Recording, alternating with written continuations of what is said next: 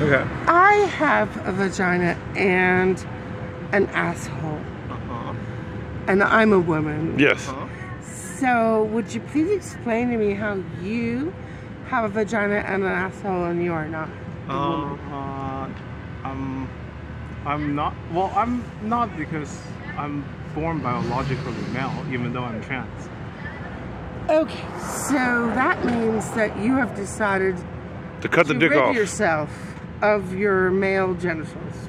Uh, at one, at one point in time, yes, but it's a it's a commitment because because um, so there are a few surgeries, right? Some some surgeries just removes it and just leave it flat, like with no holes. Some other surgeries does invert it into a hole, but that thing is a a wound that's constantly closing. So in other, so can you imagine trying to. No, work no, eight no. hours days and that that's I, not right. No one has ever told me that that inverted thing It was a wound that would close. Yes, and that's I mean- horrible. Like that's why that's why I don't say just use a spacer like an earring spacer, right? yeah yeah. So you literally have to sit on the dildo like No, no, no, for yeah. I'm like no like like okay. like one so day one day if Elon Can you not just have a penis that like folds out?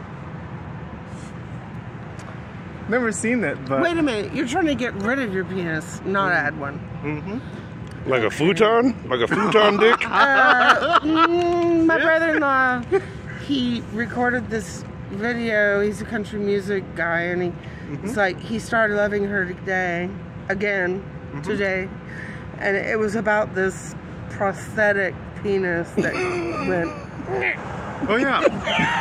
I, I think um actually for I think like for guys who have erect, erectile issues they actually created this thing where they they have like those rubber thing. Unfoldable? yeah yeah. And, and then uh, and then the bulb that controls like increasing making it hard or soft is in the balls. So you squeeze one ball to make it hard and squeeze Oh, another ball to deflate it. Yes. So she could just go.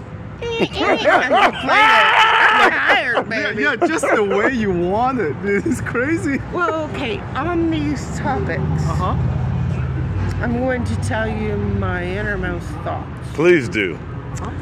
My boyfriend and I, when we were, I was 18, he was 21, I think, um, we said to each other that if you really love someone, you would change genders for them. Mm.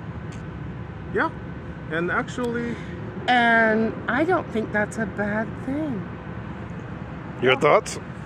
Elon make those memory transfer thing already damn it No, I'm just saying that that we fantasized about a love that was so great that you would that do anything you, for who you are doesn't matter. You, would- just want yeah, to love the love person's other person. soul. Yeah. Right. I agree. However, the truth is,